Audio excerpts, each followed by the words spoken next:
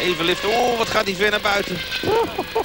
Hij neemt een hoop risico, Jacques Villeneuve. Is aan het terugzakken. Irvine gaat stuk. Irvine gaat stuk. Nee, Irvine. Oh, oh, oh, oh, oh. Teamtactiek. Prachtig zichtbaar. Irvine gaat niet stuk. Irvine laat Schumacher er voorbij. En is nu de buffer tussen Michael Panis. Olivier Panis ploft wederom een Mugen. Ja, waar moet je nou naartoe? Waar zet je hem neer? Niet op de lijn alsjeblieft. Kijkt even in zijn spiegels.